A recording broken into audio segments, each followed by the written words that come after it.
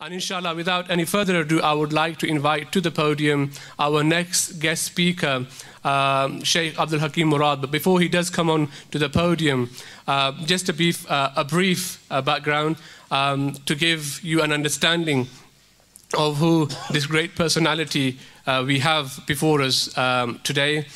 Um, for most of you, uh, you who will be aware of Sheikh Abdul Hakim Murad, uh, he doesn't need a great detailed introduction. Uh, he is a lecturer at the University of Cambridge. He has uh, founded Cambridge Muslim College, uh, which uh, trains up imams uh, and scholars. Um, so he's a founder of that. He's again he's a teacher, and most importantly, recently there was an uh, education institute, a research center in Jordan that has published the 500 Muslim. Now, this 500 Muslim is a combination of all the 500 influential Muslims around the world. And Alhamdulillah, Thumma Alhamdulillah, Sheikh Abdul Hakim Murad is the 50th most influential Muslim individual in the world. So, Alhamdulillah, we have him before us, and I would like to invite him without any further ado, Sheikh Abdul Hakim Murad. نعرہ تکبیر اللہ اکبر نعرہ رسالت یا رسول نعرہ تکبیر نعرہ رسالت بسم الله الرحمن الرحيم. الحمد لله رب العالمين. والصلاة والسلام على خاتم الأنبياء والمرسلين. سيدنا ومولانا وحبيبنا وشفيعنا وعصمة أمرنا محمد وعلى آله وأصحابه وأتباعه أجمعين إلى يوم الدين Allah subhanahu wa ta'ala directs us many times in His revelation to be joyful. قل بفضل الله وبرحمته فبذلك فليفرحوا هو خير مما يجمعون. Just to take one example, it is a commandment that we should be joyful. When we hear about the arrival of Allah's blessings, we should smile and not look grumpy. We should rejoice and not look glum. Because Al-Ihtifalu bi dhikri ni'ami wajib, the title of the book of one of my teachers, it is an obligation to celebrate blessings. After all, of all of the blessings which come to us in this world, and 99.9% of them we don't even notice, the beating of our hearts, the breaths that we draw, the oxygen in the air, the fact that the earth is stable beneath our feet and that the oxygen and the atmosphere keep the gamma rays away from our brains, all of these are Allah's mercies. Mercies that He bestows not just upon the ummah of Sayyidina Muhammad but upon the other ummahs and upon the animals and upon the grass and upon the very planet on which we stand. This is the nature of our Lord. He is Ar Rahman. We worry about our condition. If we are looking for a way out of our condition, if we are looking for a way of escaping from these shadows and finding the light again, we can rejoice because ours is not an ideology. Sometimes people speak of Islam as an ideology without ever bothering to look it up in the dictionary. Ours is a deen rooted in something that actually happened. The communists and the capitalists, they dream about something on the basis of nothing that's ever been achieved. They just hope that they will produce the ideal society at some point in the future, and they end up just producing more misery for human beings. Al-Hakumut Takathur is really the slogan both of the capitalists and the communists, and it doesn't help at all. It hasn't worked but in the case of the, uh, the deen of Sayyidina Muhammad sallallahu we find not a theory but a practice, something that has actually been achieved. We can open the pages of the seerah and we can see an extraordinary transformation that actually happened before people's eyes, taking them from the shadows into the light, taking them from the many to the one, taking them from pessimism about death to optimism about eternal life, taking them from tribal, tribal feuds, revenge, honor killing, killings, intiqam, to a state in which they were all equal under one united law. An extraordinary transformation. We know that it can be done because it has happened. If we look at our condition and we look for a way in which we can improve our condition, and alhamdulillah, there are many good things in our communities as well, as as, well as many problematic issues. We are optimistic because we know it can be done. And if we look elsewhere in our history, we can see that it has been done, albeit in a minor key, because nobody can replicate the greatness of the achievement of the chosen one, sallallahu alaihi wasallam. That was an ideal that inspires us, but we can't repeat it exactly. But we can at least be inspired by it. We see again and again mujaddids of this ummah bringing something of that extraordinary illumination to situations of extraordinary darkness. Now, when we look at our situation here, and we look for way, ways forward, we begin with this assurance that indeed Allah subhanahu wa ta'ala can change a dark situation into a luminous situation and can take people out of shadows into blazing light. But we also know that the Holy Prophet sallallahu alaihi wasallam is uh, still the guide of this ummah. And what this means is something that has dazzled the minds. And the ulama say that it's best not to look into this in any kind of logical detail. When we think about uh, the Holy Prophet wasallam in the pure earth of Medina, what that reality could be is something that dazzles our minds and we lower our gaze and we cannot begin to think about what that reality might be. But we do know that in his state in the barzakh, the Rasul wasallam continues to be the founder of the ummah, the inspirer of the ummah, and at the end of time we have the assurance that he will be the intercessor for this ummah. And Allah subhanahu wa ta'ala will protect this ummah to the extent that we protect reverence for the founder of this ummah in our hearts. وما كان الله معذبهم وأنت فيهم وما كان الله ليعذبهم وهم يستغفرون Allah will not punish them for as long as you are amongst them and he will not punish them for as long as they make istighfar.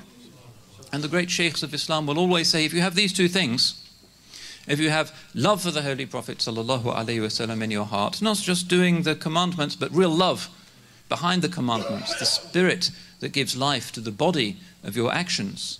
Uh, and if you combine this with istighfar, which is the basic state of Islam, which is um, saying to Allah subhanahu wa ta'ala that I know that uh, I commit in every day more sins than I could ever enumerate, but you are Al Ghaffar, you are the forgiving.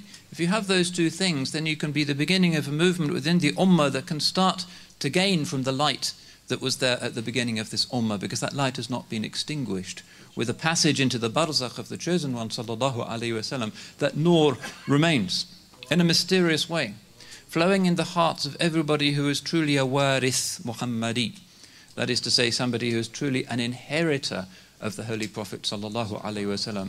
Maybe in his nasab, maybe in his ilm, maybe in his adab, maybe in his ihsan. There's so many ways in which that light can be inherited. Sometimes tiny little sparks from that extraordinary, blinding, blazing sun of the prophetic heart, the heart on which the word of Allah itself could be sent down, an unimaginable human reality. Nazzalahu ala qalbik. Allah subhanahu wa ta'ala says to him, He sent it down on your heart. Yeah? And that is the beginning of this light and part of the unimaginable nature of the prophetic greatness. لو أنزلنا هذا القرآن على جبل لرأيته خاشعا متصدعا من خشية الله If we sent this Quran down on a mountain, you would see it shattered into pieces from the fear of Allah. But where was the Quran sent down? نزله على قلبك. He sent it upon your heart. So what is his heart? What could that be? It's beyond our imagination. We know the state of our own heart, and occasionally perhaps it has glimpses of things in dreams and moments of, of spiritual upliftment, but we do not really know what it is to have a heart that is strong enough and pure enough, a pure reflected mirror, to carry Kalamullah al Qadim, Allah's uncreated speech, that which is in its nature from the divine nature. آيات حق من الرحمن محدثة قديمة صفة الموصوف بالقدم as the poet says, signs uh, from Ar-Rahman, renewed through the revelation in Ghari Hira, renewed, qadimatun, because uncreated. Their quality is the quality of the one who has no beginning. And again, we know that this shatters the mind. We cannot imagine what it means to say the uncreated book. but we do know that that book, which has something of the quality of the uncreated about it, came down upon his heart, sallallahu alaihi wasallam. So when we speak of him and we speak of the light that was sent with him and the light that came through him, we're talking about no ordinary light. We're not just talking about knowledge or information or wisdom. We're talking about something, something ancient, something uncreated. We know that because it is uncreated, it can never be put out. It can never be extinguished. It is there permanently. So it's the requirement of every Muslim who seeks the happiness that was visible upon the face of the early Muslims, who seeks the happiness and the peace that is upon the face of those who are not interested in ma yajma'un, what people are collecting, but are only interested in being right with their point of origin and their point of destination. The only sensible attitude a human being could be to be in touch with this light. What can one say about light? Well, pure light is something that is something to do with unity. Like unity, you can't divide it. It's hard to describe it. To the extent that it's pure, it's beyond any kind of categorization. But we do know that Allah subhanahu wa ta'ala has set up this creation as an alternation of opposites. Allah subhanahu wa ta'ala, in His wisdom, has decreed that behind the various complex forms of creation, and uh, subhanallah, what a complex and beautiful creation it is. ما ترى في خلق الرحمن من تفاوت. You don't see any defect in the creation of the All Merciful. We find that this opposition of light and the shadows is there repeatedly in his book. الله ولي الذين آمنوا يخرجهم من الظلمات إلى النور Allah is the wali, the protecting friend of those who have iman. He takes them out of the shadows into the light. Now the shadows, zulumat in the Quran, they come in the plural always because the things of the world, the aghyar, the things that are other than Allah subhanahu wa ta'ala are so many. They're not infinite, only He is infinite. The universe has boundaries, although they're far away, but it is finite. The universe does not go on forever. The universe does not extend forever in space. It is bounded. It is mahsur. But it's made up of these shadows. But Allah subhanahu wa ta'ala is nuru samawati wal ard, the light and the heavens of the heavens and the earth. And this light flows through creation.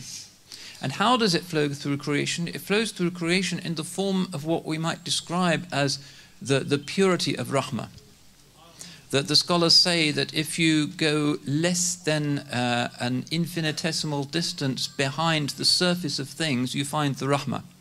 The ground of being is rahmah. Allah subhanahu wa ta'ala created the world as an expression of His rahmah, as an expression of His mercy. He has no need for this world, He has no need of anything. Why did He create the world? Even the question, again, staggers the mind. He created the world so that in His mercy there might be uh, manifestations of His mercy, and so that the greatest mercy that we might experience, which is to recognize the source of that mercy, might be possible in the world. In other words, creation of the world so that there might be somebody in the world that recognizes this mercy and therefore wants to worship him. That's what it's all about, from a particular perspective. Of course, to ask why Allah does things is to make Allah into something like ourselves, which he can't be. Laysa kamithlihi. But some of our poets and some of our thinkers have said this is a helpful way of doing it. Allah subhanahu wa ta'ala created the world out of his mercy so that the supreme manifestation of His mercy in the world should be something that is one of the aghyar, that is other than Him, but recognizes His mercy so perfectly that He is in this state of ubudiyya. So the reason for the creation of the universe is liya'budun, so that they might worship me.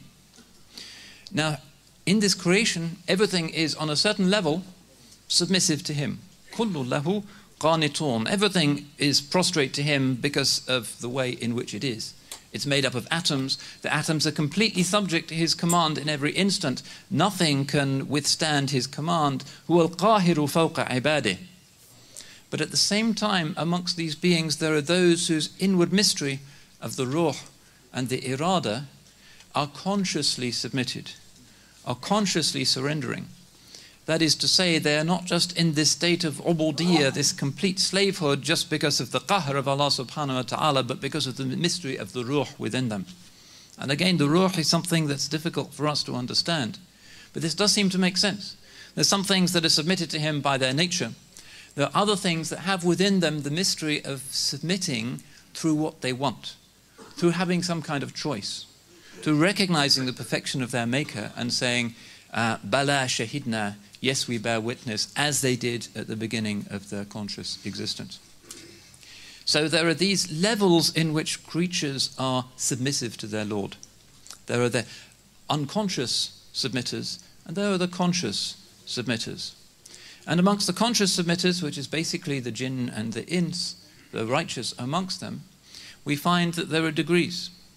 And the highest of the highest is one position which is occupied only by the Holy Prophet sallallahu alaihi wasallam, who is the Sayyidul Abidin. He is the master of the worshippers. His submission to his Lord is more conscious, more aware, more perfect than the submission to the Lord of any other order of creation. And this is one reason why it is said of him, Rahmatul lil alameen. وَمَا أَرْسَلْنَاكَ إِلَّا رَحْمَةً لِلْعَالَمِينَ Doesn't just mean that his sharia was a mercy to people who were savages and brought them out of the shadows into light. It doesn't just mean that it's a guide for those who are confused about how they should live their lives, from how they should be at home to how they should run a government. It doesn't just mean that, it has an inner meaning as well, which is that Allah subhanahu wa ta'ala, whose nature is mercy, and who has built this creation out of mercy, has appointed in this creation one who shows the purpose of existence. The reason for the creation of existence is most clear in him. لولاك ما خلقت الأفلاك as it is said, but for you I wouldn't have created the, the heavens, as it is said to the Holy Prophet sallallahu alaihi wasallam, and it is in that that he is at the highest level rahmatul lil alameen, mercy to the worlds.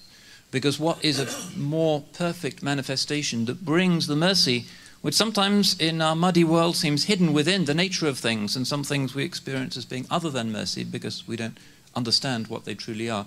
Who is the one who brings that hidden mercy to the surface most perfectly, who is pure mercy? It is none other than Sayyidina Muhammad Rasulullah sallallahu alayhi wa alihi wasallam.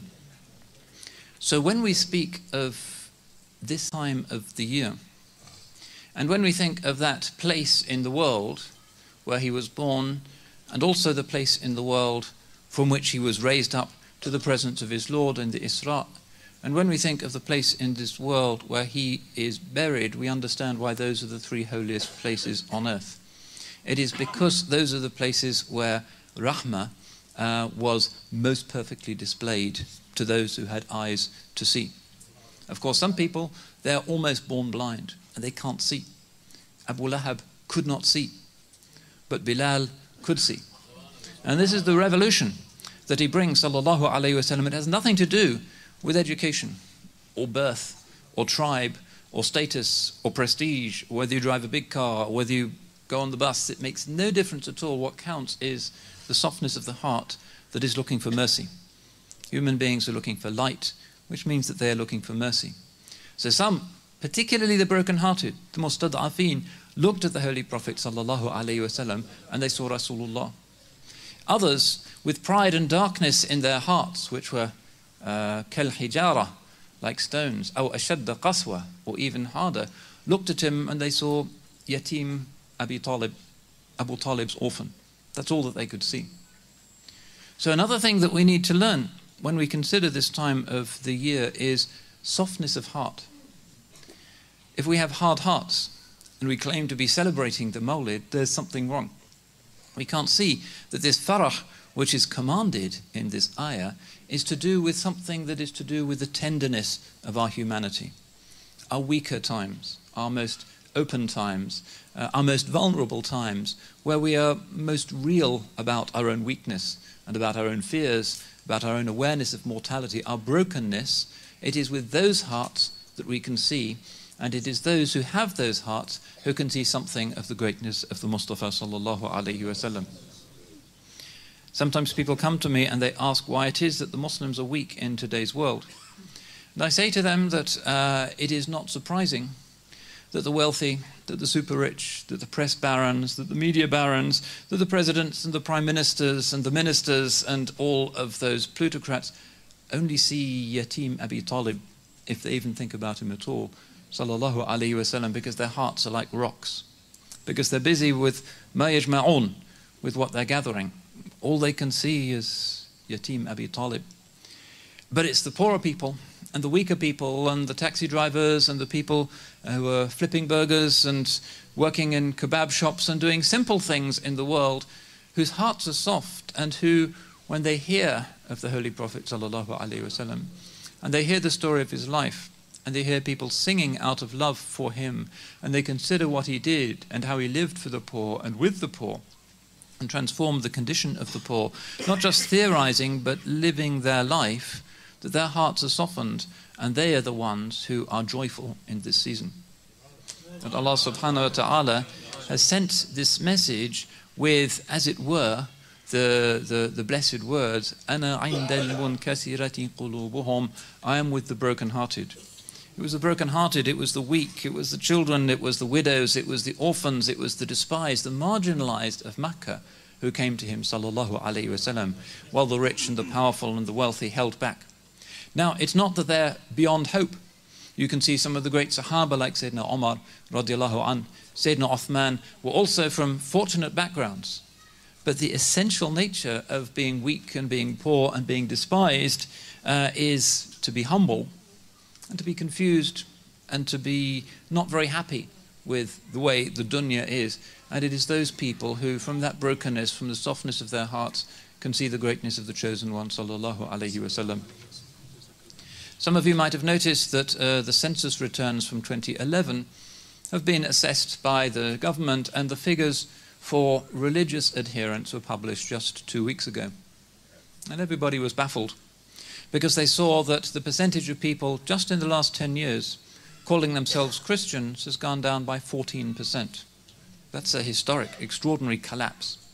But the percentage of people in Britain calling them, themselves Muslims has increased by 70%, which is an extraordinary, unprecedented increase, despite the fact that immigration has been pushed down and down and it's harder to get visas and even students find it hard to get here. Still, the ummah uh, of Sayyidina Muhammad sallallahu alaihi wasallam is increasing in number.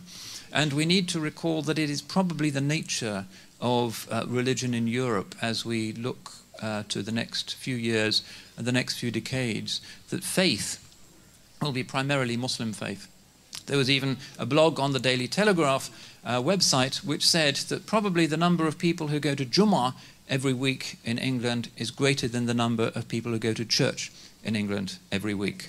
That's the nature of how things are. And the rich and the powerful and the media moguls and the people who do cartoons and other things may despise us and insult us and poke us in the eye. Islamophobia continues to grow. But we're not put out by that. We're not surprised by that because we know that the Sahaba of Rasulullah also experienced the other. Fasbir ala adahum, he is told, just put up with their insults and their Islamophobia. That's just the nature of things. The powerful will always despise the powerless. The rich will always look down on the poor, makes them feel less guilty that way. Uh, the haves despise the have nots. And this is the nature of today's world that light and love and rahmah are with the true followers of Sayyidina Muhammad wasallam, and greed, hard-heartedness, environmental depredation, uh, and a defiance of the decrees of heaven are with the wealthy and the powerful. And we need to be at ease with this rather than resentful. We need to recognize that this is how things have to be. Because the Holy Prophet wasallam said that the poor shall be resurrected before the rich by 500 years. And he also prayed to be resurrected amongst the masakin, amongst the poor. And this is how it is, not just with him, alayhi salatu but with all of the anbiya and with all of the awliya and with the true ulama of this ummah. That is their option, preferential option for being with the poor. And in a world in which money is all that exists, ma yajma'un is all they care about, that makes no sense at all, but that's just too bad. We see people constantly coming towards us. And what we need to do in order to help them to come into our ranks, to join our masajid, and there aren't enough of them. We may claim to be lovers of the Holy Prophet wasallam, but the da'wah, which was his most spectacular achievement in his society, is something that we are failing to do because we see that the masajid are not full of new Muslims by and large, is to remember that if we truly claim to be celebrating the Mawlid of the Chosen One, sallallahu alaihi wasallam, there should be consequences. If we truly are rejoicing in Allah's blessing that the Holy Prophet alayhi wasalam, has been sent to us, uh, then that blessing should manifest itself in a joy that others see. Why is this person so happy? People at work should be asking us. Why doesn't he have problems at home? People at work should be asking us. And then they start to ask questions and they find out about the Holy Prophet sallallahu alaihi wasallam. That's why these milad processions, for instance, through the streets, if they're done well, can be a very important form of da'wah. People are curious. Everybody's interested in anniversaries. They want to know what this is about.